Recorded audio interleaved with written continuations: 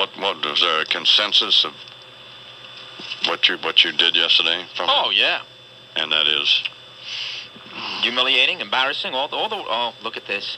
But I- no surprise. I'm actually taking a look right now on MSNBC of what it looked like yesterday. Wow, Yeah. that was ugly.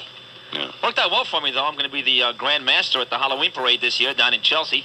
yeah, So that worked out well. yeah, The Grand Marshal. or the Grand Marshal, whatever you want to say. All right. yeah. But uh, I- you know, like I said yesterday, I man, the first the first couple of uh, minutes it actually wasn't all that bad. But as the day moved on, it became Huh. more and more humiliating and embarrassing to the point where between the nine and ten o'clock hour, I hated myself yesterday. yeah. Hated myself. Because you did hate yourself when you stole shirts from the apparently a deceased person, or Well, not originally, no, but after it was pointed out to me by you and and I realized my transgressions, then yes, then I uh, I certainly um, had some remorse afterwards. Sure, so. I'm a very remorseful fellow. Yeah. Have you noticed that, I man? No, I have not, Sid. You know, by the way, uh, I, I just wanted to bring this up quickly this morning. I don't believe that these old guys should be allowed to golf anymore. What do you mean? I mean, like guys like Arnold Palmer, I agree. he should not be allowed to play anymore. And I know that if- if- once you win the Masters, you're allowed to come back. Yeah. It was 34 years ago. He won it in 1964. He should not be allowed to play anymore. Yeah. I got three words for Arnold Palmer. What? Shuffleboard. What do you think about that? That's that's one word. Two words. Shuffle. two words. Oh, okay. Well, either way, Arnold Palmer Neither one of us knew, with. Sid. That's interesting, isn't it? You thought it was three. I thought it was two. Or one, rather. Either way, you should Thanks, be done. Charles. Yeah. You saw, I mean, you, you Warner told you about the story yesterday where Sam Snead was teeing off, uh, you know, the ceremony before it starts. There are three guys who did it every year. Gene Sarazen, who died a couple of years ago, Byron Nelson, who quit last year, and Snead put the ball right between the eyes of some guy. So he knocked him out for two minutes. Oh my God. Well, What does that tell you about the guy, by the way? When an 89-year-old hits a golf ball and you're in the gallery and you get hit and you're knocked unconscious for two minutes, what does that tell you about this guy, Phil Hoffman, the guy that got knocked out? or Harrison, whatever his name is. well, it, it tells me, first of all, that uh, uh, that uh, Snead was getting some good wood on the ball. That's what it tells me. Either that or this guy Harrison's a wuss. Well, You ever think about that? well, whatever. We got to go, Sid. That's it. Yankees lost, right? Cardinals won. Yankees lost 11 to 3. Clemens pitched on three days rest and lost. You're right, the Cardinals won, and the Mets win too. Mike Piazza, the game winning home run yesterday. Gee, that's just great. Uh, we'll try to get back to you again, Sid. I appreciate this morning. Yeah, oh, you're welcome. Thanks, I man. Are you losing your hair? Hi, I'm Jim Austin with an exciting new development in the treatment of hair loss. Caller. Yeah, what's the deal? Caller. Seek him too much because it's an unfamiliar position for him. Want to talk Mets and Yankees baseball? Then keep it here all day long on your flagship station for New York sports. The Fan, Sports Radio 66, WFAN New York. Are you really satisfied with what? For specialty networks that have desirable programming to just charge double what apparently they're worth by the financial analysts, then everybody's going to want more money. Your cable bills are going to go through the roof, and people are going to find alternatives to cable entertainment they're afraid of. So, you know, they've, they've got a stake in this too. We'll be right back.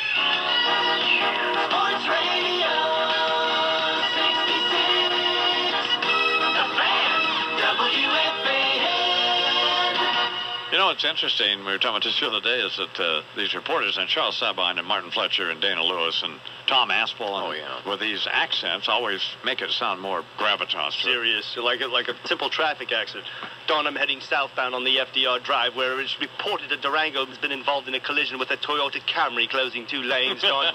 Police are on the scene, saying it won't be cleared up for about 20 minutes, Don. Disgruntled motorists have been seen about 30 blocks behind them, Don. Back to you. Imus in the morning. Please welcome now of the Irish Morning program Rob Bartlett, who is starring with Rob Bartlett and the Bartletts. They will be at the Stamford Center for the Arts Friday night. And, Expect massive traffic jams around the Stamford Center for the Arts as you approach Rob Bartlett's show in Stamford, Don. Imus in the morning on the Fan. Sports Radio 66.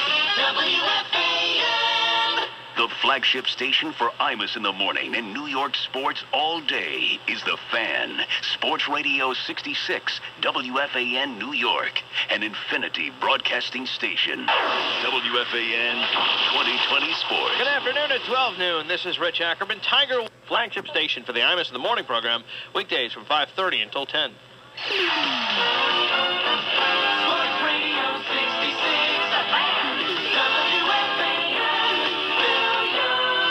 Back with you on the fan at 718-937-6666. Hope to have Ken Daneyko in just a little bit, but till we get him, we'll take your phone calls and uh, wrap it up at around 12:30 or so. Mets and Expos rubber game of their three-game set.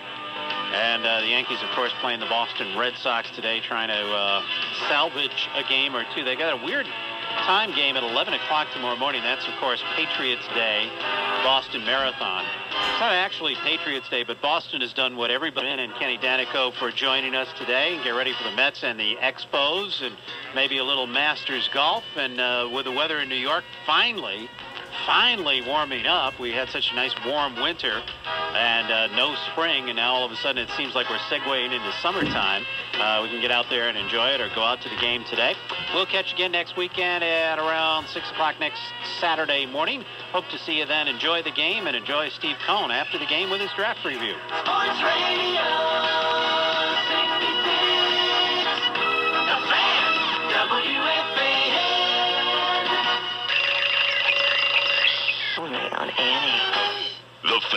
Sports Radio 66, WFAN New York.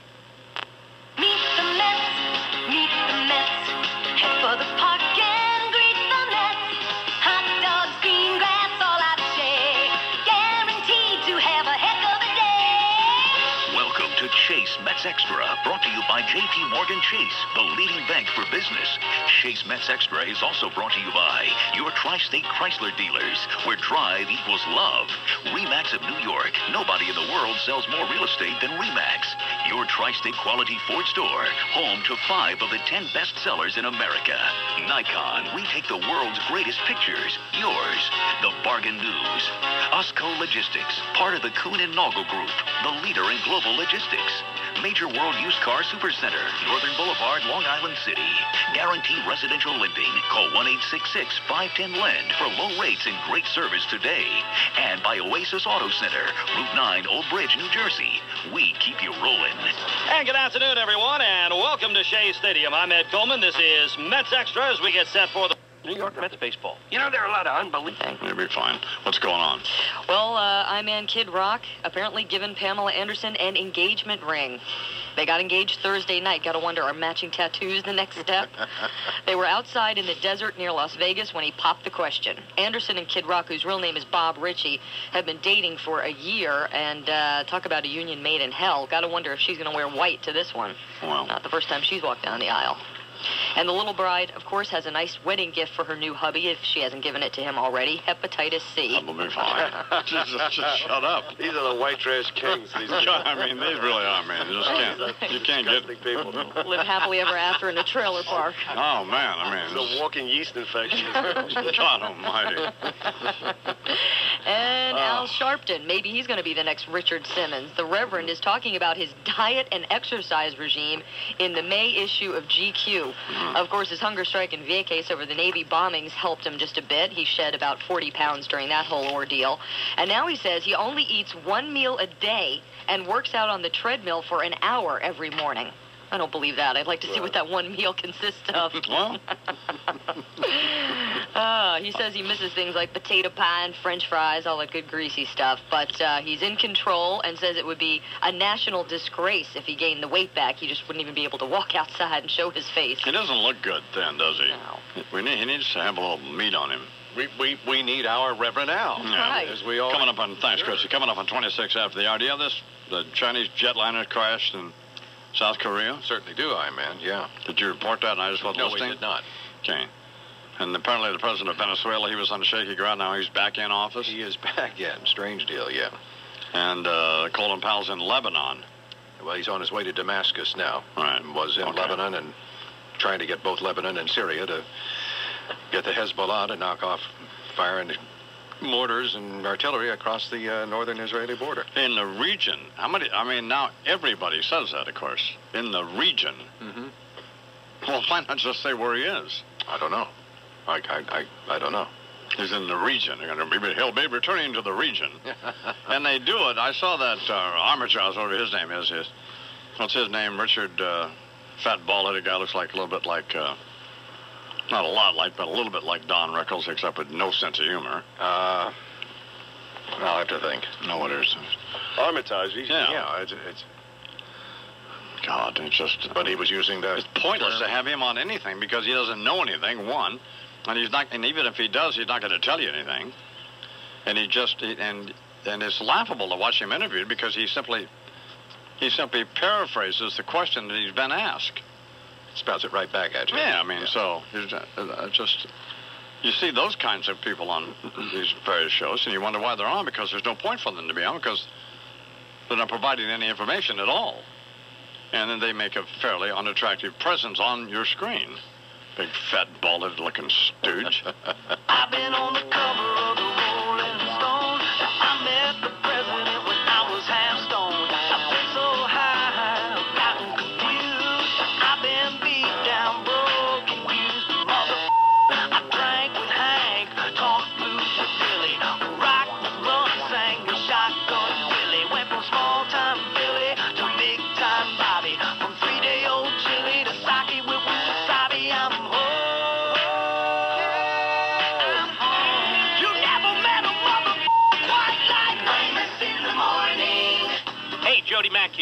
kind of person Rob Bartlett and Bartletts will be at Governor's in Medford, uh, Long Island this Saturday night and at the New Roc City Comedy Club in New Rochelle next Saturday night, April 27th. For more information, go to robshow.com and check all of that out. So, do you have any more news of any kind? Where's that? Uh, is Sid here this morning? Sure. in the house. Yeah, nice nice in the picture of Sid and Bob Raissman's column in the, What's uh, the deal? Sunday uh, Daily News. Uh-oh. So, is, are there is there pollen or something around, or Yeah, it's springtime. Yeah, there could be stuff, I couldn't extra stuff not, in the air. Am I Sure. getting a cold? Am I? God, I just hope not. It says, oh, whatever. So what else going on, Chuck? Police in South Korea say 54 people have survived this uh, jetliner crash near the city of Busan. An Air China Boeing 767, 166 people aboard, hit a mountainside in bad weather, rain and fog, as it was making its approach. Most of the passengers were South Korean. The crash occurred in a residential area. It is not clear if there are any casualties on the ground. The survivors said passengers were simply told to buckle their seatbelts before the plane suddenly, as he put it, crashed with a roaring sound.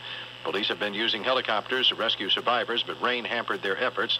This is an Air China 767, hit a mountaintop, bad weather, uh, near the city of Busan in South Korea. And two new attacks are being reported against U.S.-led forces in Afghanistan. They occurred over the weekend. Allies say they expected fighting to pick up as the weather got better, grew warmer. Even so, plans continue to bring the former Afghan king home uh, this week. Every April 15th, of course, same thing. Millions of taxpayers waiting till the last minute. Post offices staying open late to accommodate them.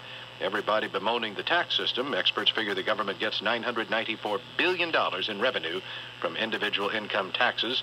About 132 million returns will be filed, and about 93 million taxpayers will be getting refunds. I was thinking, I was, I was thinking about whining about all the taxes I have to pay, and then I decided I'm lucky I get to pay them. Boy, isn't that the truth? You know? I mean, absolutely. Well, that's, that's actually how I feel about it. That's a good way to put it. But if you live in New York City, man, I mean, you really get killed. You get hit hard. New York City taxes, New York state taxes, and federal taxes. Yes. But the alternative is not Exactly. pleasant. It is uh, 24 till the hour. Sid's here. I told you. I mentioned Sid's uh, humiliating photograph in Bob Raissman's column in the Sunday Daily News. Said it's just.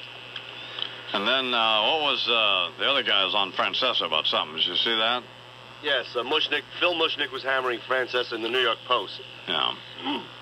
Apparently, Francesa has uh, duplicitous agendas, according to uh, Phil Mushnick. In this case, he has the same agent as uh, one of the sportscasters in New York, who, who Right. according to Mushnick, is horrible. Francesa used to hate him. Now he likes him, and the coincidence is they have the same agent. And Francesa Yes. has pulled this before. Yes, that's right. Well, what That's about a- Francesa's credibility and honesty? That's the way that works. Right. What's Mushnick talking about? Pardon me? The hell is Mushnick thinking? I don't know. I mean, duh. so I couldn't even read it. It was just, uh, it was so, so tedious. Talking about John Sterling's. Oh well, he's awful. is he high, is is awful. high. oh, he's awful. But is- Francesa says he's good. He's not good. He's awful. And Mushnick says that Francesa can't really believe that he's good.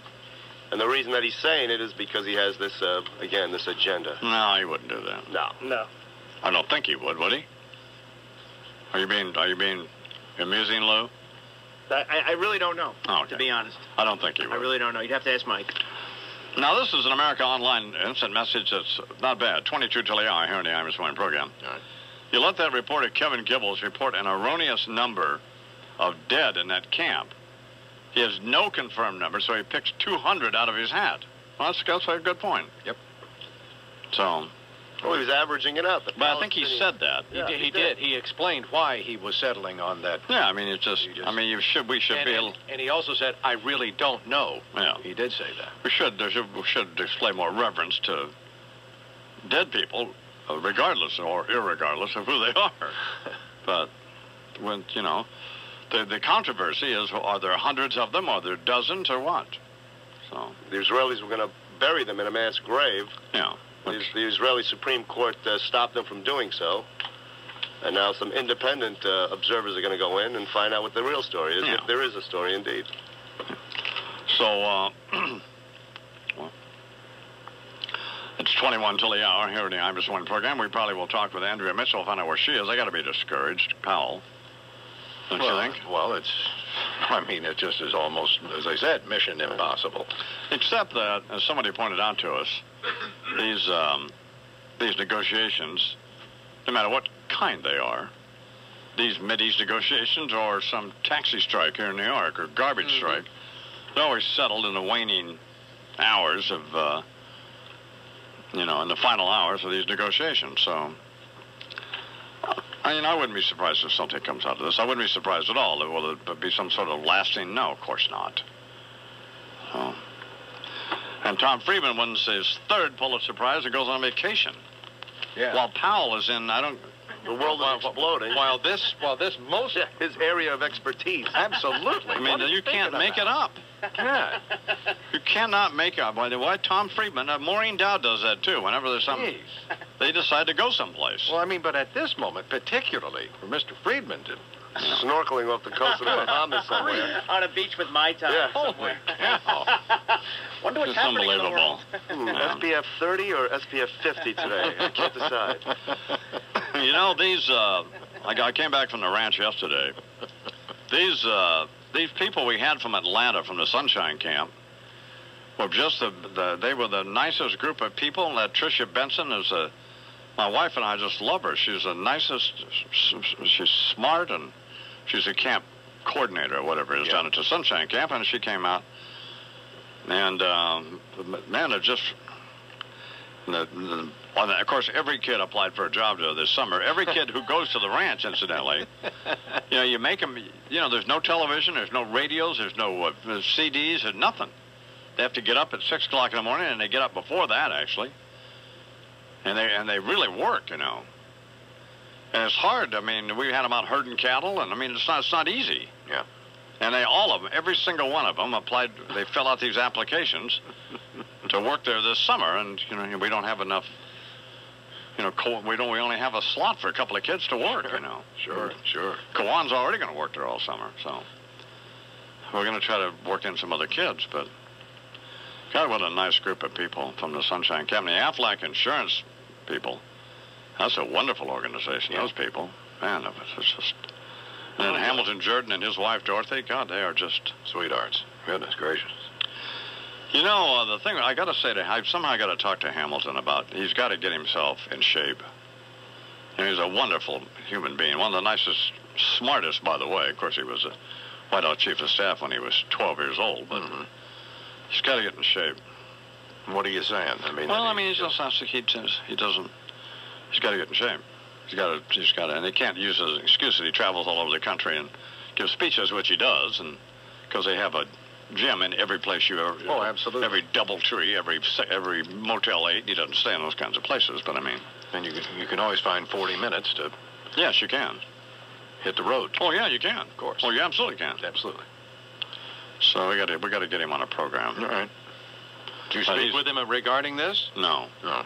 no, I haven't. I'm going to write him a little note and send him All Dr. right. Kenneth Cooper's book, and I'll pro- I'll type up a little program for him. It's easy to do. You just It's not easy, but you once you just you know, Get, the, get the habit going. yeah, it just takes you do it a month and you do it the rest of your life. That's right. 17 till the hour here in the Army Swimming Program. The dreadful, awful Sid uh, Rosenberg is coming up. How's he? How, how, well, I guess I've. At least his picture in the paper this weekend wasn't accompanied by uh, some arrest statistic or Yeah, that's what that was. lawsuit That was refreshing. It wasn't- He wasn't either being sued or arrested. Or fired for some uh, Yeah. It wasn't uh, right. It wasn't taken out of a lineup. But then Tiger Woods did win the Masters, and, well, anything could happen. So, anyway, 17 till the hour here on the Army Swimming Program. Oh, it's going to be a pretty good show today. So. Attention, all your players and pimps right now in the place to be. I thought I told y'all niggas before, y'all niggas can't fuck with me. Now this ain't fun, no small booties, no sir, cause that won't pass. But if you feel you got the biggest one, then mama come shake your ass. Shake your ass, but watch yourself. Shake your ass, show me what you're working with. Shake your ass, but watch yourself. Shake your ass, show me what you're working with. I'm a in the morning. Well, isn't this patrol? 11 minutes till the hour on the Army Swimming Program. Sid Rosenberg is coming up. But first, uh, MSNBC has what they what they claim is a fairly um, it's not I don't think it's laugh out loud funny, but it's mildly amusing. Secretary Colin Powell speaking with a uh, with an, a, uh, an Arab interpreter. Is that right? Uh, A female Arab interpreter, correct? apparently screw something up. Let's check it out. Based on Crown Prince Abdullah's initiative. آه، من أسابيع قليلة آه، آه، ال- العرب ال- ال- عفوا القمة العربية اجتمعت هون ببيروت تحت رئاسة الرئيس لحود وعطيت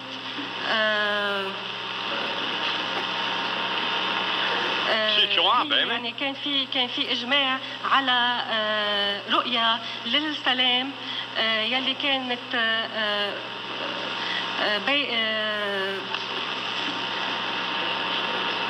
لا عفوا بس كانت يعني موجوده على النظر اللي اعطاها برنس عبد الله You got to see the look on Colin Powell's face. He's, well, guy's mortified. Well, he doesn't stand It's a a vision chance. that President Bush shares, a vision of two Oh, well, now get her. That's enough of that. Get her. I mean, what is that all about? He Good. doesn't, he doesn't have a chance if he does have good ideas. You know, he's looking around. He's going. I mean, it was the. I I realize you're not watching TV, but what's have you? But I mean, I'm honest to God. I bet her hands are chopped off by now. Ten minutes till the hour. Sid Rosenberg's here. Patriots Day in Boston today, Sid. Yeah. Boston Marathon. Yep, that's right. Yankees Red Sox 11 o'clock. Yep. Beer drinking? Think any better than that, does it? Well, well, yeah, probably does get better than that. Well, what would be better than Patriots Day in Boston? I don't know, a uh, maybe an all paid for weekend in Vegas with a couple of uh, Asian dance girls. well, well, okay. I guess. I don't know. You got that one. I mean, Just for that's just starters? for one, yeah. How about Tiger Woods? Well, Tiger won again. Yeah. Yeah, I'm with you, by the way, I man. I heard you say this morning that once he was tied for the lead going into Sunday's action, Yeah. you knew the thing was over. Yeah. Kind of takes away. You almost wish that Tiger was five or six strokes back, because like you, I felt the same way. And yesterday, Tiger played well, and Goosen kind of slipped off, and Vijay Singh oh, slipped Oh, well, off. they, don't- they, but they, they, they don't want to play with him. no, I, it, the intimidation factor is No, they- there. And he's, he, he doesn't try to intimidate him. I mean, he No, Just, he just goes out there. and- he's just so good. Yeah. You know, just so good. And by the way, Tiger Woods gets one million eight thousand dollars for his victory yesterday. Retief Goosen, who comes in second, gets just over six hundred thousand dollars, and Phil Mickelson, who comes in third, gets three hundred and eighty thousand dollars. Those were the uh, the prize winners yesterday. And he got that blonde Swede, too, on Yeah. top of it all, baby. Yeah, what a that's- country. What a country. No, it doesn't get any better than that. Tiger Woods made a million dollars yesterday and goes home with that blonde bombshell. 22 years old. All right, well, Now, wouldn't you take that over tickets to a Yankee Red Sox game in Boston today? Patriots Day? Uh, no. what happened to your Lakers yesterday? Well, they lost in double overtime. Well, they were killing Portland. They went up by as many as seven in the first overtime, my man, and found a way to lose that. when did uh, when did uh, uh, Rick Fox change to shave his head? Looks terrible, doesn't he? Yeah, Why would he do that? He's a very good-looking guy when he has his hair. I don't know. It doesn't matter. Let's talk about another guy who's got it pretty good. Making about $5 million this year. No. Married to Vanessa Williams. No. Would you take that over tickets to a Red Sox Yankee game? Well, Boy, all of a sudden it's really plummeting down that list, isn't it, I man? Well, no, I, I think it's a big day in Boston. That's all. I mean, why, it's, why do you need that hair if you're already married to Vanessa Williams anyway? You don't Yeah, have to look good. Exactly. It's all over. All that Jerry curl maintenance and this and that. That's what happened to me. I used to be devastatingly handsome. Once I married Danielle, I let go a little bit. yeah. You know, let it just a little, just a little. Yeah. Bringing it back now, obviously. Gonna be married 10 years this year. By the way, Friday's my 35th birthday. Congratulations. Thank you. So feel free to leave one of those big walking, you know, things of cash you always count in front of me. Uh, feel free to leave one right here by the uh, board on Friday.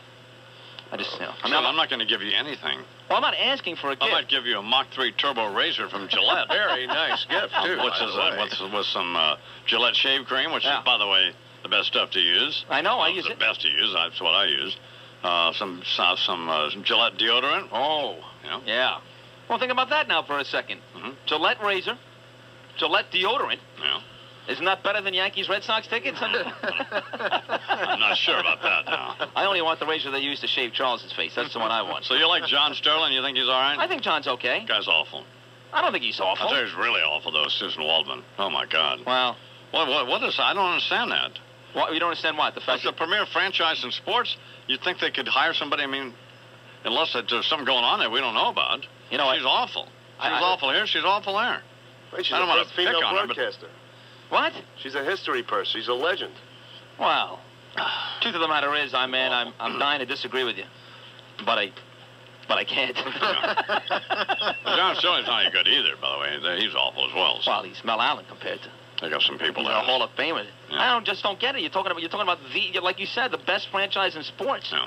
Why? Why? But then again, if you think about it. A lot of the a lot of the teams around the country, their their announcers, the Mets are announcers aren't all that great either, to be honest. with they're not. Gary's fantastic, and Howie's great, and uh, Eddie does a nice job, Eddie Coleman. But a couple of their announcers are also But you don't want to watch a, a baseball game and listen to a woman, really. That's the bottom line. It doesn't fit. Well, I mean, if she was really good, it wouldn't. Yeah, Bernie's right. That's what it That's the comes bottom down to. line. Yeah, girls. As should- harsh as it sounds, Yeah, it's good. Girls, it's, it just not, doesn't work. It's not for girls. You agree with that, I man? Well, not necessarily. I mean, is that chauvinistic of me to say that? Well, it's stupid because Yeah. if they're any good, they're good. Doesn't make any difference. Well, then you tell me right now how many good girls Name one broadcasters there. Yeah, give me one. Well, there's a few around. Give me- give me one, give me one. Lesley Visser, Lesley Visser's awful. Suzy Kolber. She's cute, but she's not the sideline reporters. They don't Yeah. do play-by-play. Right, though. give me one play-by-play. Oh, you know who's not bad, actually? I'll tell you who's not bad. And she's on Good Morning America also every once in a while. Um, uh, she was from ESPN. Come on, I Robin, uh, Robin Roberts. Yeah, she's not Yeah. bad. She's pretty good. No. She cool. Yeah, but that's it. You, that's one. You have any more? Well, I'm not. I'm not. No. No, well, my point is made then. I guess I've made my point. Uh, how about uh, the, the uh, uh, Reggie Miller's sister, Cheryl Miller? She's pretty good. She's awful, too. She is? She's terrible. Okay. Yeah, she's terrible. So that's four. We're one for five right now. That's a 200 batting average. That'll get you a spot on the bench every day in baseball. That'll have you watching Patriots game today out there in Boston. A woman's going to be in the arena. She needs pom poms in her hand. Is that right, Sid? Well, yeah. Hi, I'm uh, I'm Jon Favreau, and I'm hosting a new. I good, good too. Oh, she got home in time to. Come on. Here's Bill from Chappaqua, incidentally. Good morning, Bill. Hey, uh, man. How are you? I hear today today's Chuck's losing his whiskers. Yes, the Gillette people are here, and uh, they're going to shave Chuck's with the with the new uh, Gillette uh, Mach 3 Turbo. Turbo, yeah. You're going to shave his beard off. What is this, National Get Rid of Your Beard Day? Well, That's the case. I guess Liza Minnelli's in trouble, huh? so Gillette's giving you 50 grand for the ranch just to shave Chuck? yeah, What's that work out to be, about a buck a hair? something like that. You should have had him shave Sid's back. You would have made over 60 million. I think it's about time Chuck got rid of that Gabby Hayes look. Well, I mean, it's cool when he's out of the ranch, but here in New York, with the dyed hair and those glasses hanging around his neck, looks like he's ready to show you some fabric swatches. Chuck claims he doesn't dye his hair. yeah, I know. and I didn't inhale. but those 3 turbo razors are something else, you know, because I've actually used one myself. Oh, Just the other morning, I, I woke up and rolled over in the bed, saw who I was married to, went right into the bathroom, tried to slit my throat with one. That's a woman who could use a good shave. she waxes her legs and her lip with these sticky strip deals. yeah. She leaves them around the house. Looks like Chewbacca's molting. Damn.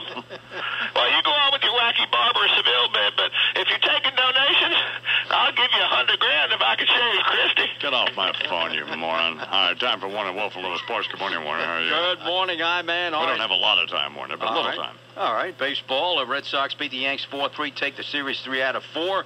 The game ended with Yankee runners at second and third, two outs, and the 3-2 pitch to John Vander Wal. If you're a Yankee fan, it was a ball. If you're a Red Sox fan, it was a strike. Speaking of the Red Sox, you remember last May when Pedro Martinez was asked, asked about the curse of the Bambino? Sure.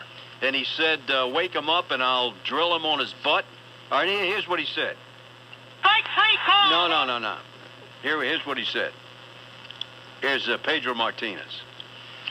Some Bambino and have me face him. Maybe I'll drill him in the ass. You remember that? No. Said that- You know how many games he's won since he made that statement? No. Take a guess. I'll One. tell you what, it's single digit. Three. Nine. Two. Two. Two. Yeah. Yeah. He, two, he's won two Good. games since he, he curse of Bambino. Curse- curse of the He's saying, I'll There drill him. There, there is the curse. There it There's is. the curse. The guy's won two games Over there. since then.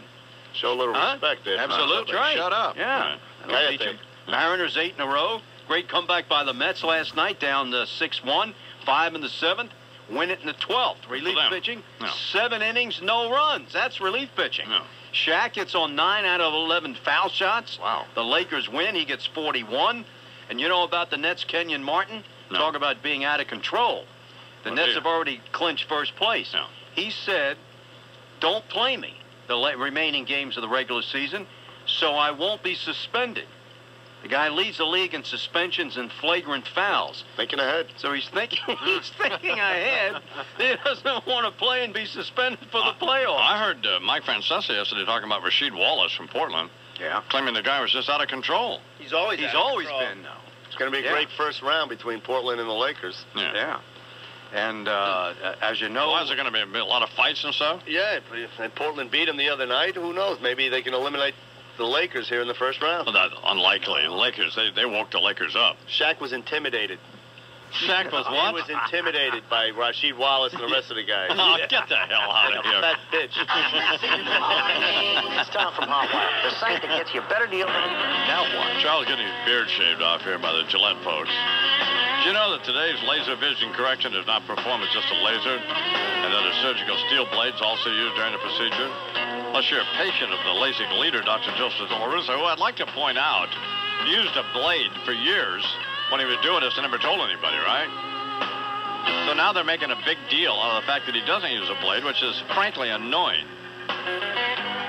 When we had Dr. Dello Russo, I don't even yucking it up about it, but but he's the only guy in the tri-state area now who's using this all laser uh, eye, eye, eye whack deal, right, Chuck? The all laser think so. procedure. Yeah. Obviously, it uh, maximizes patient comfort.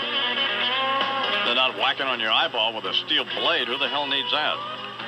And Dr. Dello Russo, the guy can get it done for you. So, Charles, uh, Connie, Chuck's wife, had her eyes fixed by this guy with a blade deal, Oh, right? sure. Long ago. Absolutely. And she's not bumping into anything. No. 1 800 eye care, E Y E C A R E. Call Dr. Joseph Dello Russo. If the only guy doing it now, so they might as well.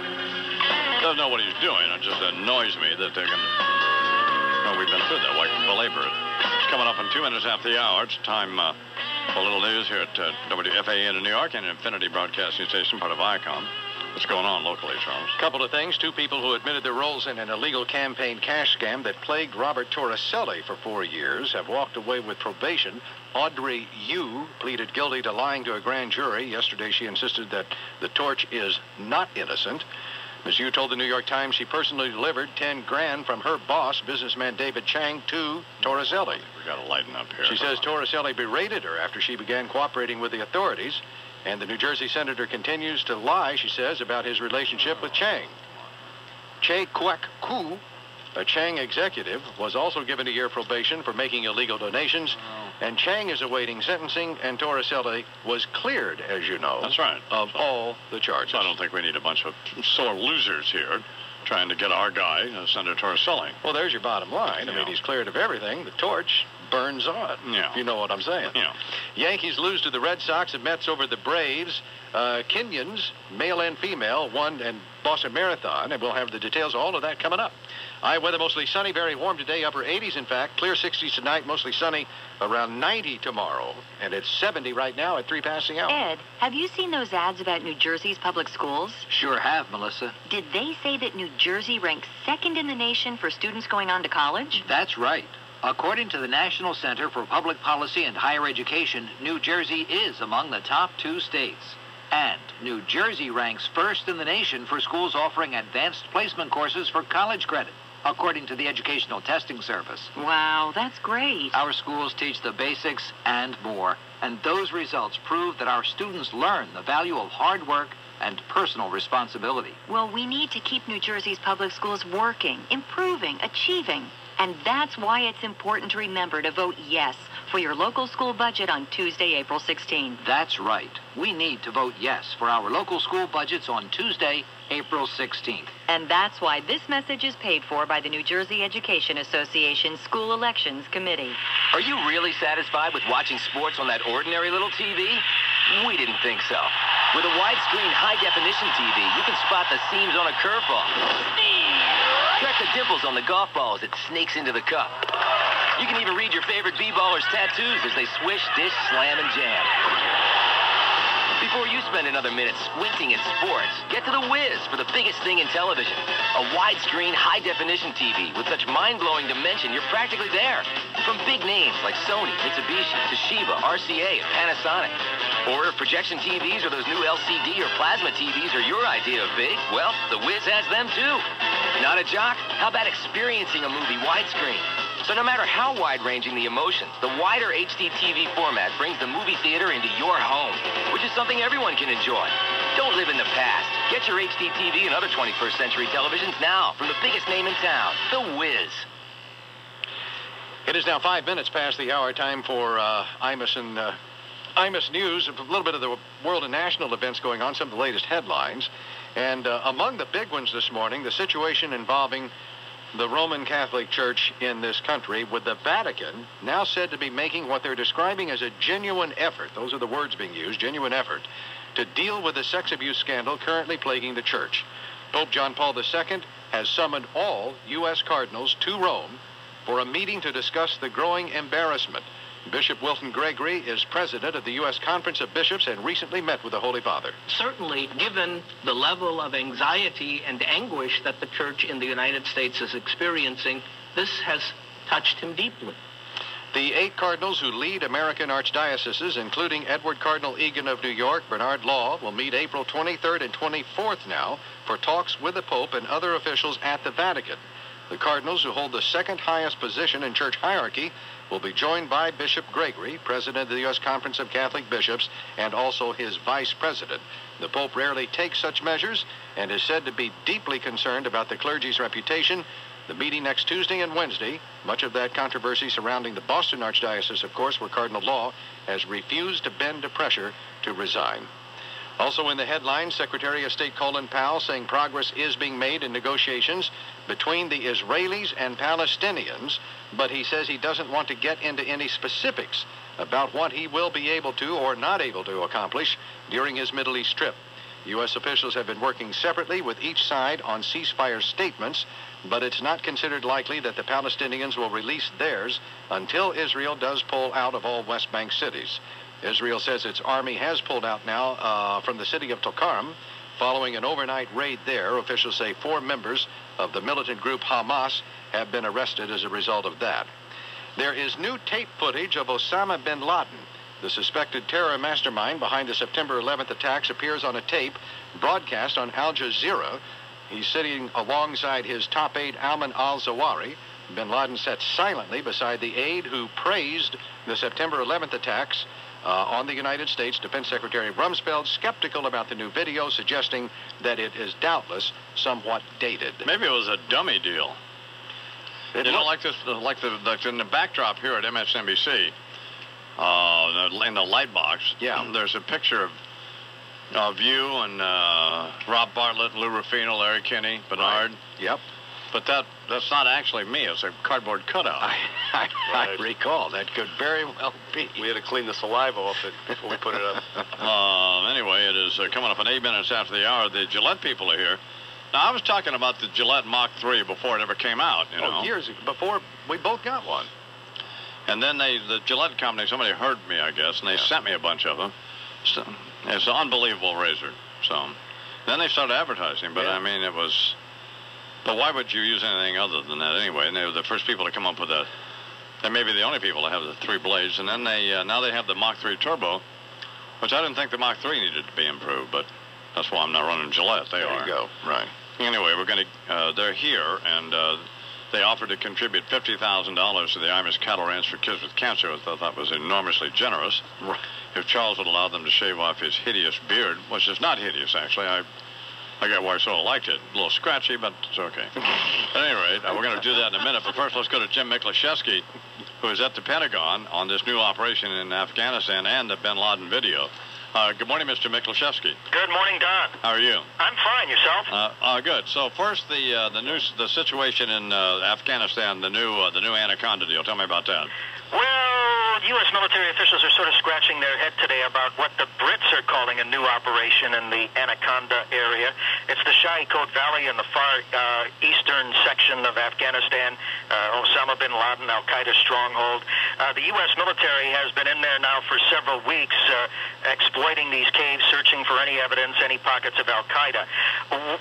What really is happening today, it appears, is that the Brits have finally joined that search in, in a substantial number. Don't know exactly how many troops are involved, uh, but U.S. military officials being careful not to criticize our allies, the British, uh, but only to say that the operation continues. The Brits are, are now joining it in some number, and uh, and the Brits are also taking apparently a substantial number of media with them, if that tells you anything. You know who seems uh, slightly annoyed at uh, at uh, Secretary Powell's visit to Israel is uh, Rumsfeld, is he?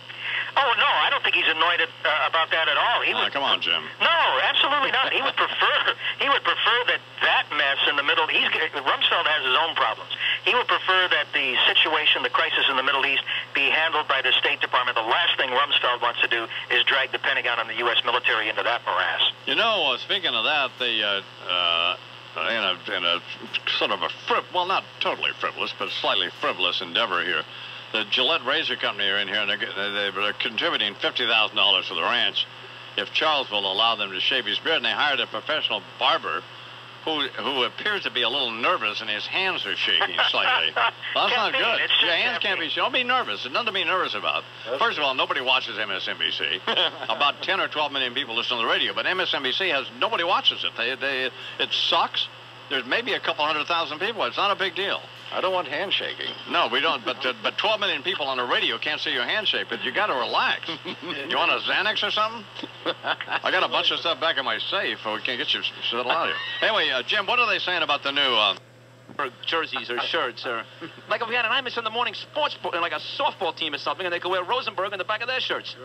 It would be their shirts, though, probably. it would. Then, then they would be black and white stripes or orange with a stencil number on them. Honest to God, you really are. With the Rosenberg on the back. You're, you're just a pathetic. Tomorrow on the Imus in the Morning program, the uh, the great author James Brady, and uh, another.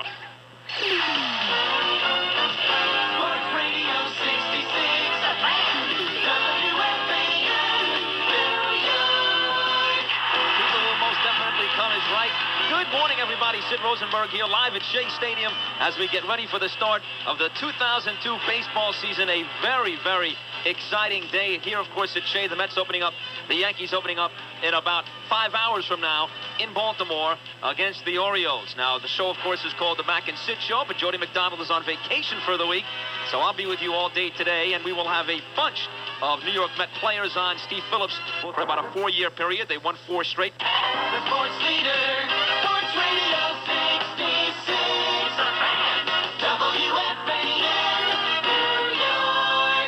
66. WFAN, New York. Sid Rosenberg Rosenberg back with you live at Shea Stadium. It's called the Mac and Sid Show. Jody McDonald on vacation this week. So a nice job back at the shop. Eddie C and Mets Extras coming up. That's right. It's time for New York Mets baseball, baby, as they start the march to the World Series. Mets 2002. I'm Sid Rosenberg. I'll talk to you tomorrow. Let's go, Mets.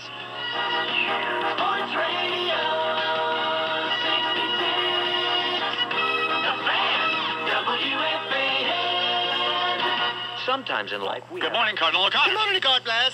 Bad year, I'm Mr. Lamar, for Brothers on the Boob Tube. The Black uh-huh. Brothers on the Boob Tube, that is, I'm Mr. Lamar. Right. Gregory, Gregory, Gregory Hines, cancelled. Yeah. Magic Johnson, out. No. Brian Scumball, out. Pushed aside like old slaves by big leading TV executives, I'm Mr. Lamar. We understand that when Paramount informed Magic Johnson that they intended to axe his show, Magic replied, you can access anything you want. we ain't got nothing to hide. Your radio sounds funny in the morning. You're listening to Imus in the morning. Speaking of Gregory Hines, eh, Mr. Lamar? Yeah, sure. Hey. What bigot thought it was a good idea to put a show on TV about a black man who tap dances all day long? Jesus. I wonder they didn't have him shoplifting watermelons or something. Imus in the morning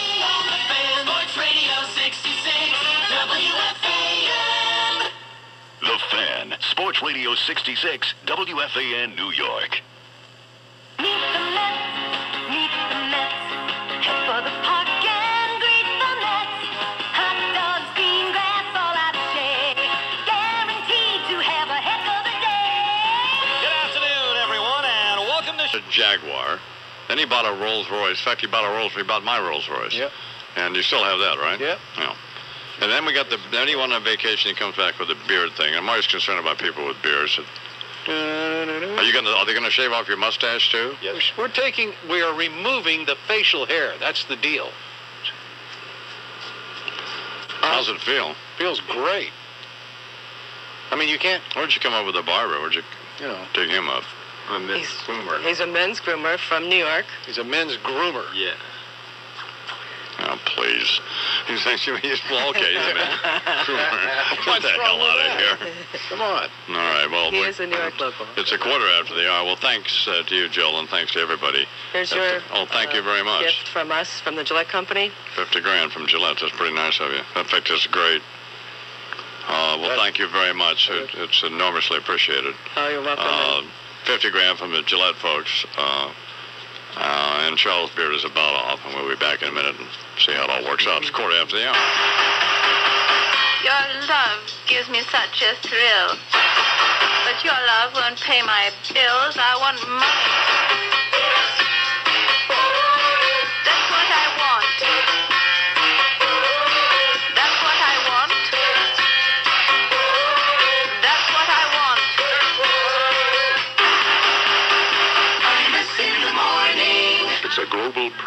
It's happening here. What's he? Good morning, I man. Bryant Gumbel, big mouth with stinky breath, as we've reported here on the Scum How do Report. we know he has Addison- stinky Well, I told you I saw an interview once with Katie Couric, and she said, "I don't think he brushed his teeth in the morning."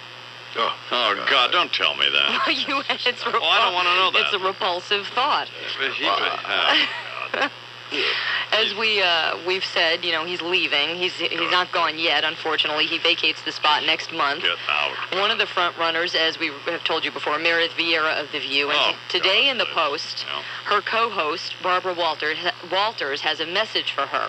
We all love Meredith. We care about her so much that we want what is best for her. But Why we're not? praying that she stays with us. Don't make fun of my friend Barbara Walters. Why not? I don't know. I, I think it might have. Actually, she has a good. She has a good sense of humor. well, did, did you hear about this thing late recently? That inner circle, that big, you know, dinner that goes on with everybody in the media. No. The inner circle uh, benefit.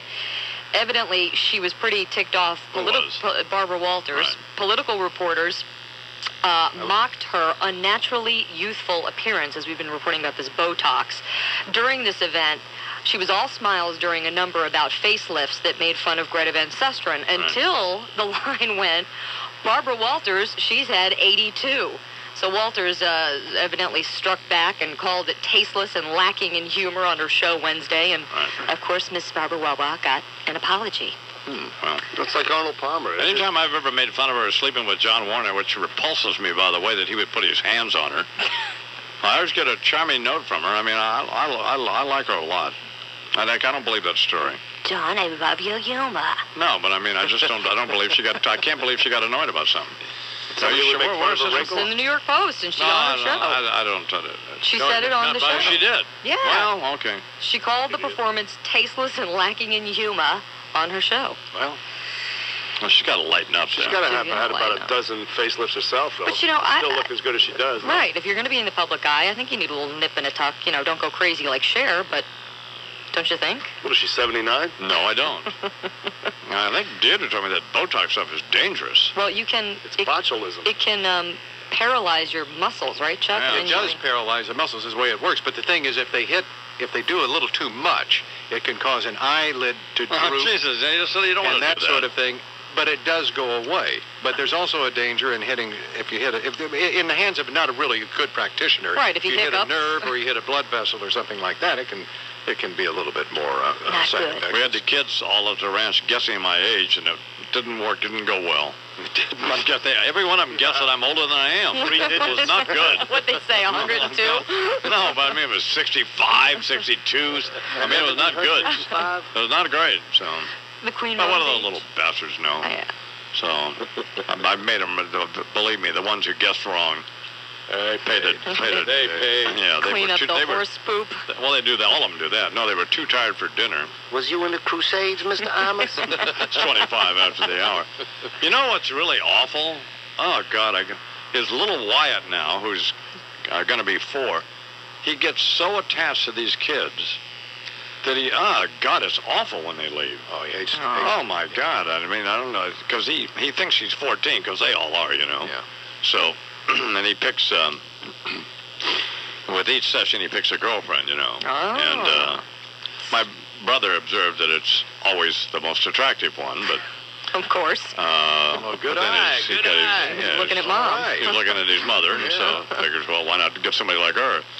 But he, uh, but he got attached to Brian, uh, who was a kid hanging out with Kawan, and uh, God, he was inconsolable. Oh. Can't we keep him, Dad? He wants us to adopt him. I said, well, it's fine with me, but I, I, I think we'd have to talk to his parents. They have something to say about it. Right, gonna have like Mia Farrow's household, you know, like 25 children from all over the place. Anyway, 26 after the hour, uh, Colonel Ken Allard was in, this is hard to believe, Army intelligence when he was in the Army. Yeah, what's the matter? Why is that hard to believe? Oh, that he would be guy. with Army intelligence. Please. Unless you think that Army intelligence is an oxymoron. anyway, we're going to talk with uh, Colonel Allard. You know, he's Uh, scared of you. I met him at MSNBC, and he told me. I, I uh, doubt that he's scared, scared of me. Scared of you, I mean. I- I- you intimidate him. I seriously doubt I that. you Anyway, ask him. Colonel Ken Allard I'm is telling intimidated you. by I don't the think so. Now wait He's, a minute. his palms are sweating before he comes on this well, program. that's because of uh, Oh, he's the stuff he knows that he can't talk about it. They'd have to kill him. Colonel Allard coming up. Look, up in the sky. Bird, it's a plane. It's Imus in the morning. Are you losing your hair? Well, we're way behind here now, but let's get to the aforementioned uh, Colonel Ken Allard, former military. Well, I don't know what he did. Hey, I want to be a fly on the wall at that meeting. You do? Oh, God. I can only imagine. You going to bring your gun or not? Well, I would, I, I would, uh, yes, I would probably have it. I always do, and there's no reason not to have it. Right.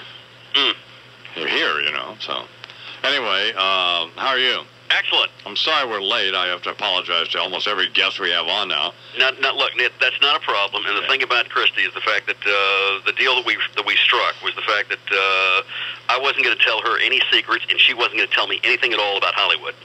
That was it. she did a great job at MSNBC. Let me ask you. Yeah, she was good. Charles saw her. Says she Yeah. was. And Charles is a very severe critic, by the way, of other people doing the news.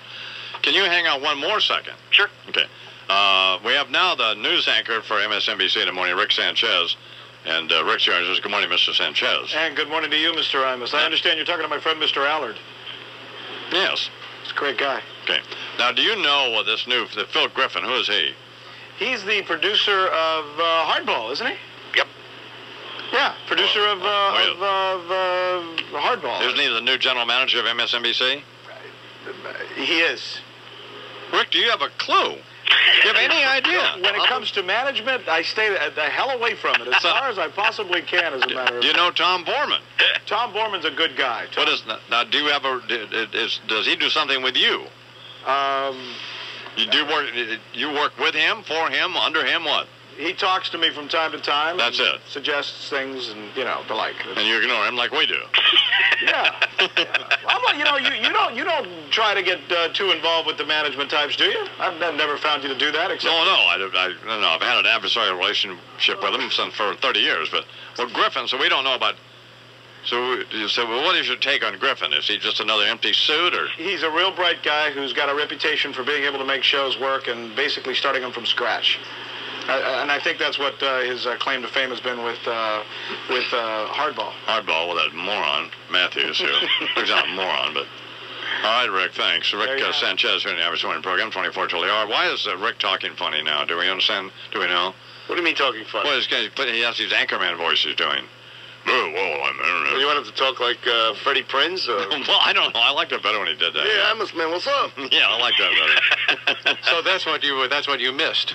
Well, I I like Rick. Well, I, I do like that. I think he's I think he's fairly solid as an Yes, anchor. yes, he- he is. As opposed to Alex Witt, who is a moron. And she's about as bad as the rest of them over there. we, th- we thought she was okay, but she's not. She's dreadful. God, Oh, my she's God. just- ugh. I feel dizzy right now. I, I can't keep track. Anyway, Colonel Allard, how are you? I'm fine, and just because Alex is beautiful does not mean she's also not very, very intelligent. Trust me, she is. She's a moron. Nope, anyway, not oh, this, well, it's not it's not transmitting on my television. And anyway, how uh, well, this latest action in Afghanistan to get serious here.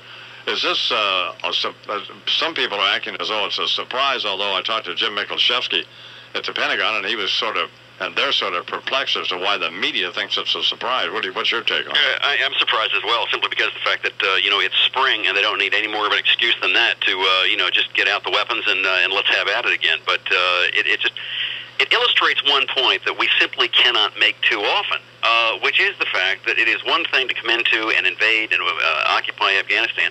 It is quite another thing to really pacify it. Uh, simply because you to remember, just just imagine this this very very large version of uh, the Hatfields and the McCoys, and you get some idea as to what that country is all about. I mean, the only thing that they like any better fight than fighting any invader is fighting each other, and that's basically what they are all about. So uh, there's an enormous challenge. Uh, I mean, a physical one, just in getting the weapons and the mines and all the rest of that stuff out of there, and plus the fact that uh, you've got these residual pockets of Al Qaeda fighters. So it's almost like uh, the only thing I can liken it to, uh, to use a good, uh, you know, uh, garden example here. Uh, you know, it's spring. You cut weeds. Don't be surprised.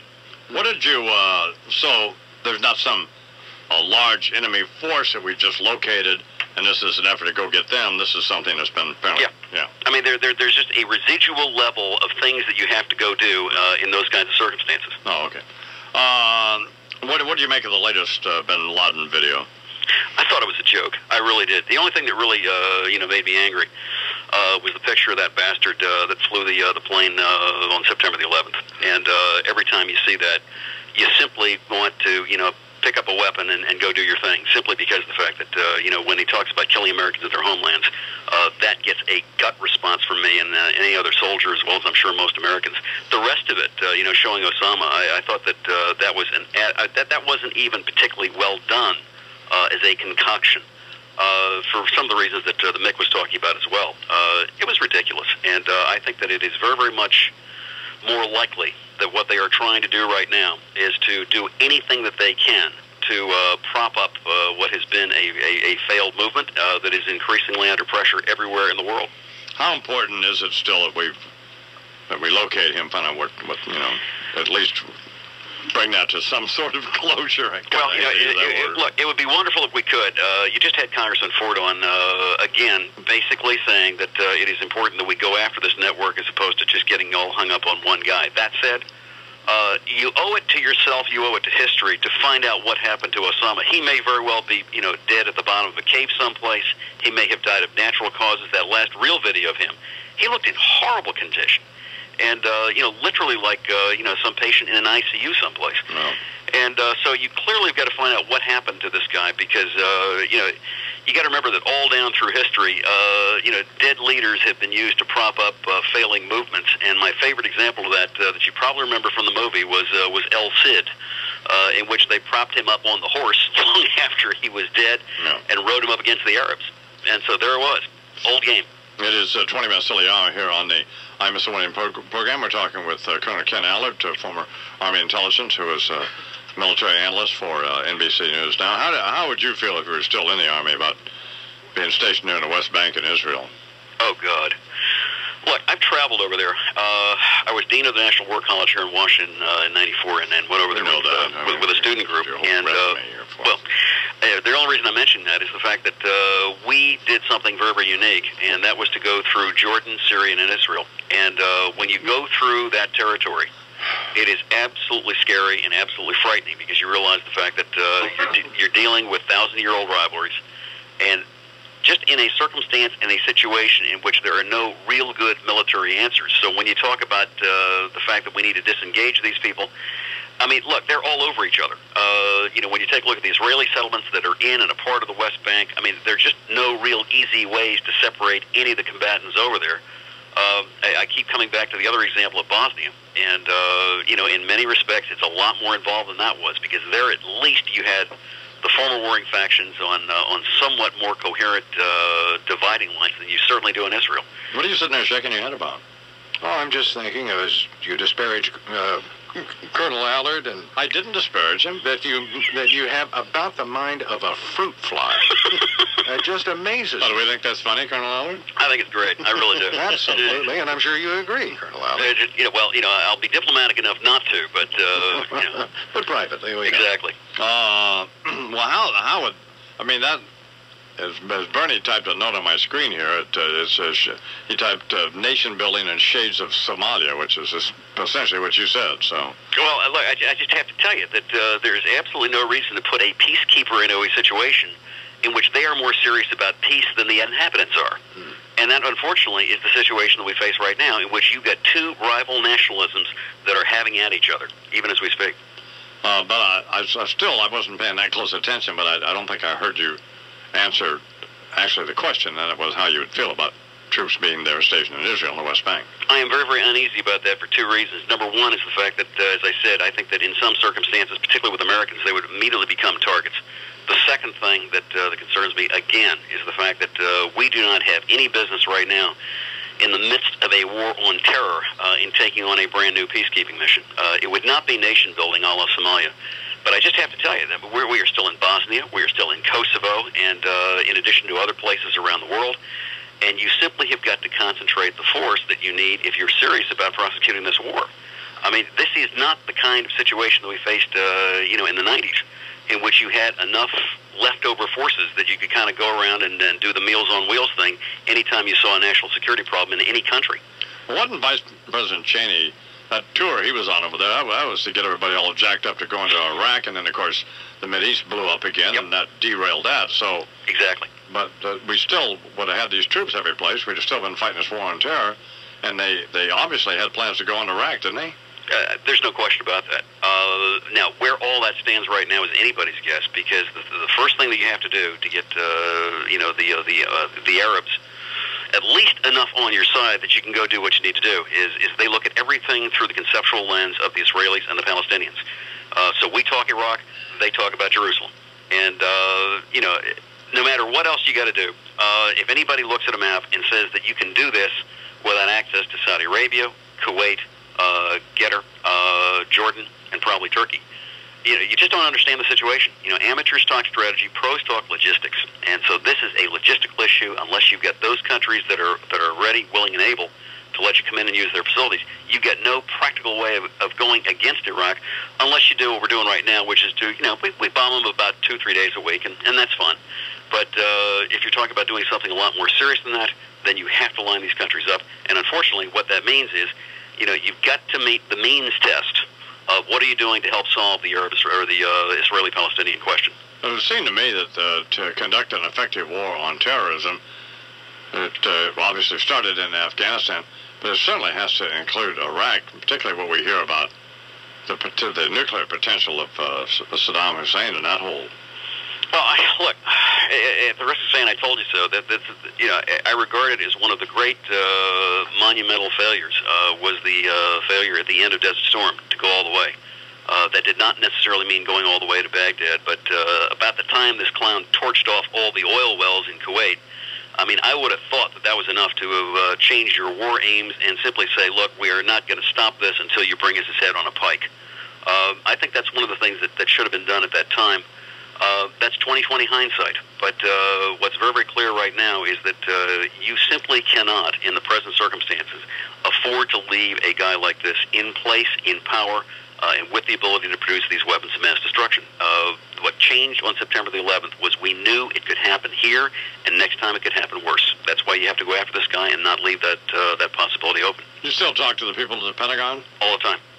How uh, irritated are they at Israel? I mean, what else would Israel, what we expect them to do other than to respond to these homicide bombings? But uh, I don't find much resentment of Israel right now because I think that uh, most of most of the military people that I talk to fully understand that what the Israeli military is doing right now is exactly the kind of thing that, uh, that we would do in those circumstances. Uh, there's also a great degree of professional respect for uh, for the Israelis. Uh, they're about the only military power in the world that when we sell them a weapon, which is which is our top of the line stuff, they can take it and make it even better. Uh, so there's a tremendous respect between those two military forces. Um, but there is also a very strong understanding in the Pentagon that uh, things over there could very, very rapidly spin out of control. Uh, I've been to that area around uh, the northern part of the Golan Heights that uh, has just started coming under attack by uh, by the Hezbollah guerrillas, and uh, the Israelis are deadly serious when they talk about the fact that that is unacceptable to them. And when they say, "Hey, you ain't seen nothing yet," if you think what we did to uh, Jenin is bad, just wait and see what we'll do to you if this kind of thing keeps up. They're not kidding. Always nice to have you on. I apologize for uh, getting you on late and then jerking you around with that hideous appearance by Rick Sanchez. I figured Rick would be better, and of course he wasn't. So. Well, I'll, I'll tease him unmercifully about that, and Alex too when I see him later in the week. All right, thanks, Colonel. Thank you, sir. Uh, Colonel Ken Allard here in the Average Morning Program. 13, what's the matter? What did you want Rick to do? I Jump don't through know, little Ken. hoops for you? Come up with some yucks. Phil Bust a Griffin and pinata? Abel? Or he's What Freddie Prinze deal or something. Yeah, I don't know. geez. Just didn't get it done. 12 minutes till the hour. Spania, Luka, Croatia. Ooh, I wanna take ya. Babushka, hey mama, here's a me to Baba.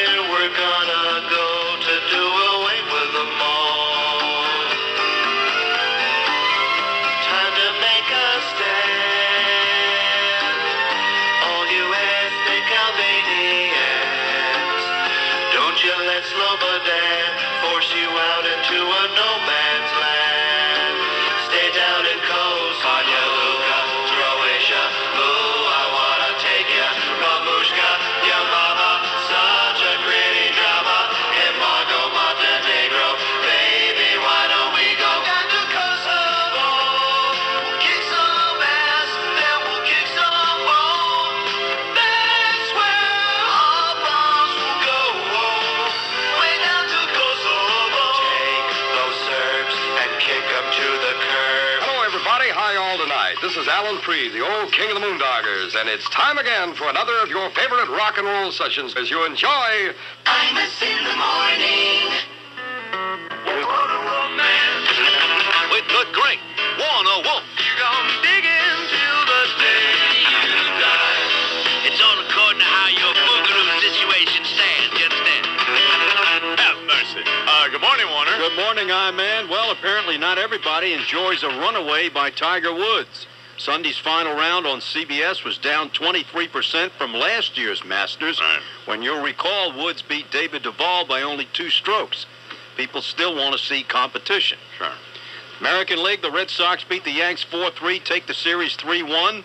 Bernie Williams now 0 for 19. Wow. Yanks had second and third, one out top of the ninth, and Urbina struck out Rondell White and John Vander Wal. Dow futures way up, Chuck. Almost 80 points. Oh, wow. Nas futures up 22 points. All right. Good. Could be good. Winless Tigers put their 0-11 record on the line tonight at home against the Rays. By the way, the Tigers are having fan appreciation night. Hmm. First prize, one ticket to a Tiger game. Second prize, season tickets to the Tiger games. and finally, uh, And Detroit has had a their Yeah. football team and a baseball Yeah. team, and yeah, going well. terrible. How are the Pistons doing? No, the Pistons are in the playoffs. Yeah, they came in second in the East. Oh, so they're getting it Yeah. done. Yeah. So, so Man, not good. no. What were you going to say finally? Well, finally, I was going to say that uh, the Rangers fired their coach at Good, hockey. Yeah, yeah, get out. But the, the, the bottom line is you have the Islanders and the Devils in the playoffs. Right. The Rangers have the highest payroll, and the Garden is empty. Yeah. That's it. That's all you have to know.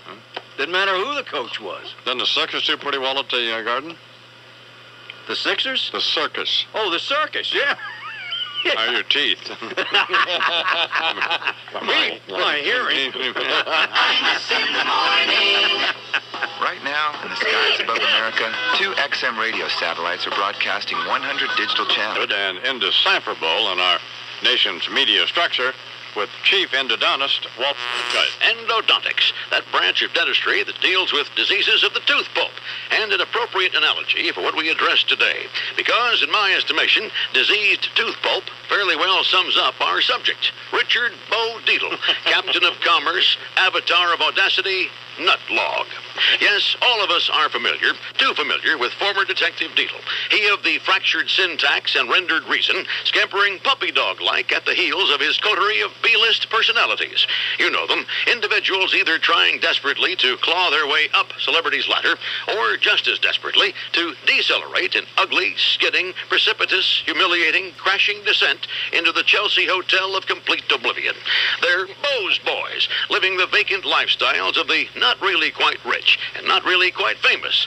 But to Mr. Dietl, they are the essence of the gods themselves. Whatever they dispense, Bo swallows with the abandon of a famished carnivore, and then, regrettably, regurgitates the stuff to you, me, and Imus in the morning. The latest? Armageddon. The horses of the apocalypse are loose. Saddam Hussein, assures Detective Dietl, is about to unleash thermonuclear war and reduce planet Earth to a barbecue briquette.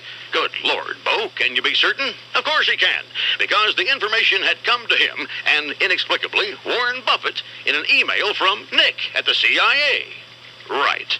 Nuts or not? He reads, we report, you decide. Saddam Hussein has also acquired long-range ICBM missile systems from old Soviet arsenals, which technic- with technical help from You. Chinese You stop reading. so- engineers, Saddam is close to being able to launch these rockets on U.S. targets. What, Hold what- on. what is the point of this story? What are you on. saying? The U.S. government, in the event of an attack of U.S., hold on, is out for an all-nuclear war. It's just been lowered. The U.S. has put the world on notice that a planned attack on U.S. by terrorist state like Iraq would result in a massive preemptive attack and total annihil- annihil- what's the word? Annihilation. That one. Annihilation. Of that rogue That nation. got me screwed up. Dear God in heaven, what the hell is he talking about? A question others of the IMUS program struggled with as well. They actually delivered work visas to the two to, to the two uh, Atta and his other one. We know They that. actually delivered the work visas to the where they took the plane instructions. Yeah. Also, did you know That that was- we know that's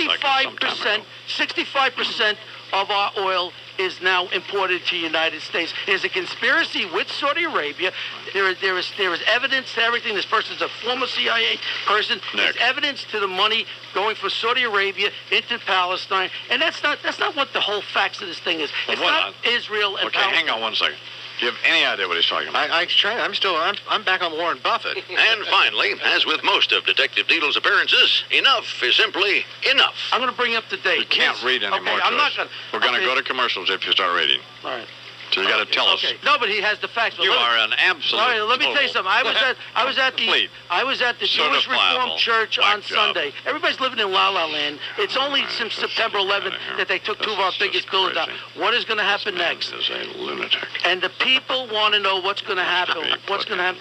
You see that until the next attack, then everybody was sitting here No, saying, "What's going to happen?" You watched it together with me. You know what I want to do? two of our World Trade Centers. Smack you with this belt buckle. Uh, the harrowing thought, not that Detective Dietl is one toketation over the line and one Kool-Aid from taking the navigator's seat on the next mission to combat Hale-Bopp.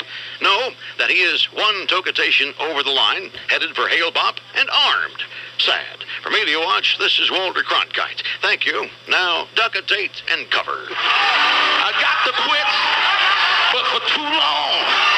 We've been trying to do it by ourselves. That's why we always having you embrace somebody.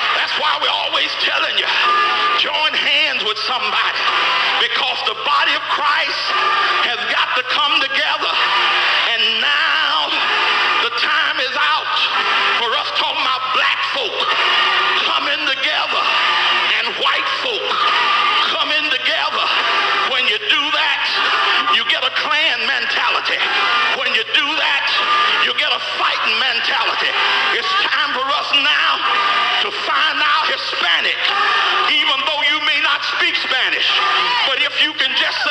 Two words, it's time to embrace your Spanish speaking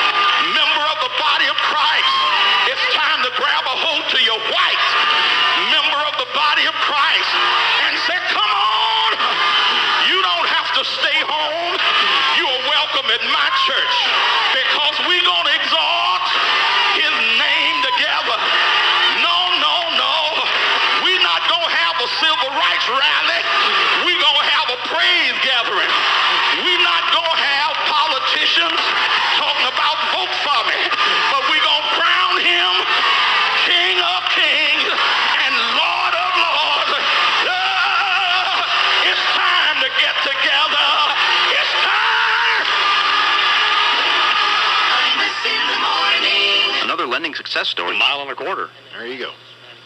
Maybe even 31 foot maximum depth for mean high water.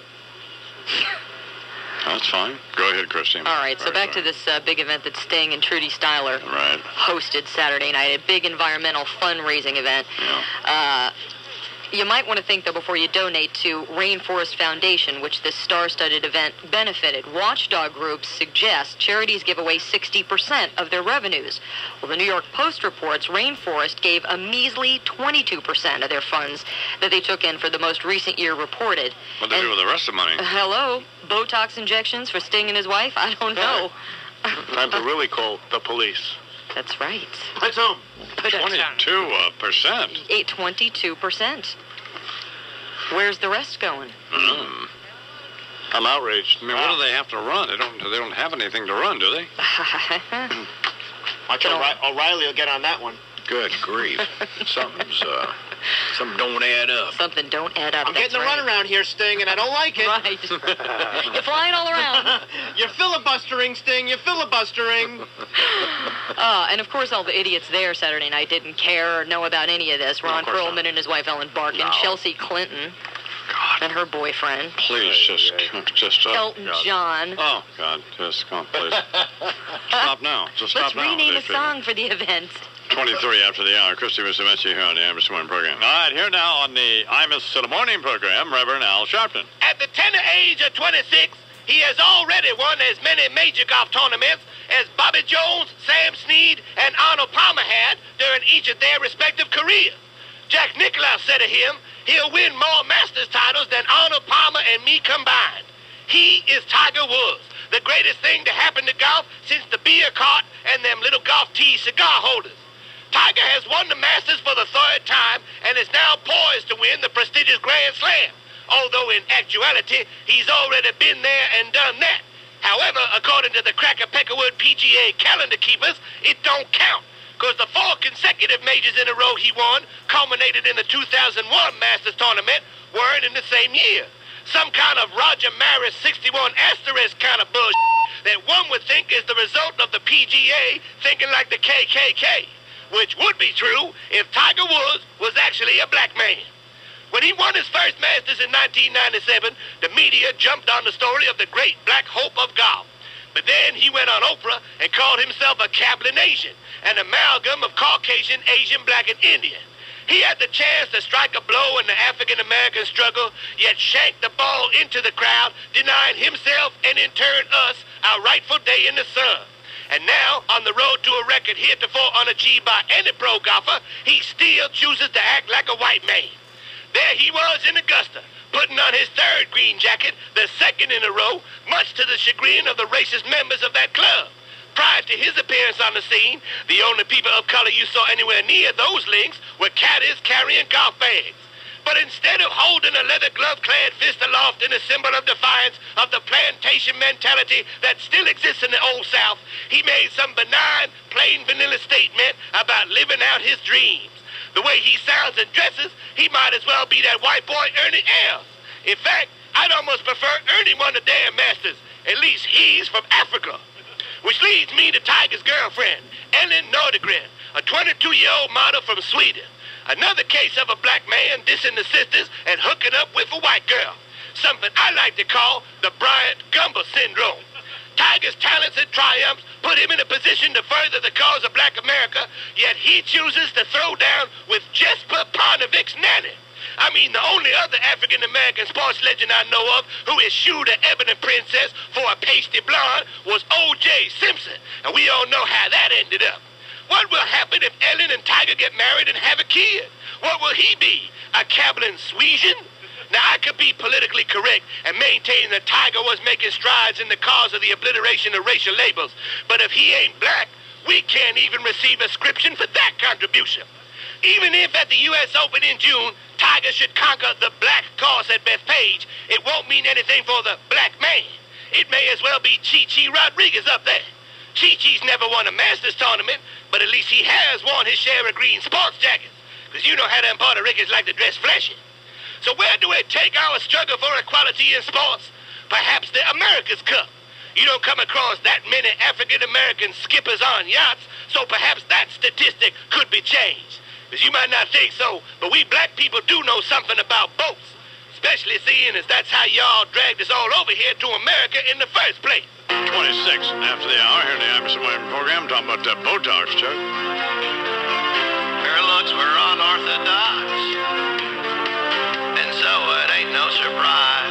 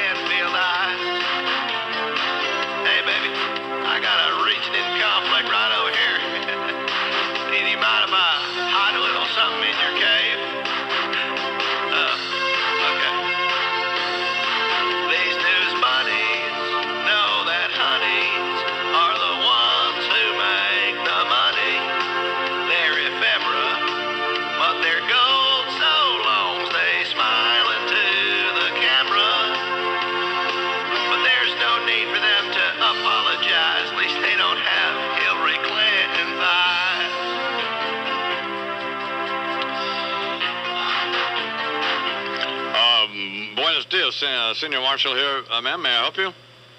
Hello, Yes, what is this? um, Mr. Juan Pintado. No, this is Senior Marshal. Excuse me. Uh, my name is Senior Marshal. May I help you? What are you trying to do? Lourdes. For me? Yeah, Now, may I help? What, what, what is your name, ma'am? Lourdes. How you doing, baby?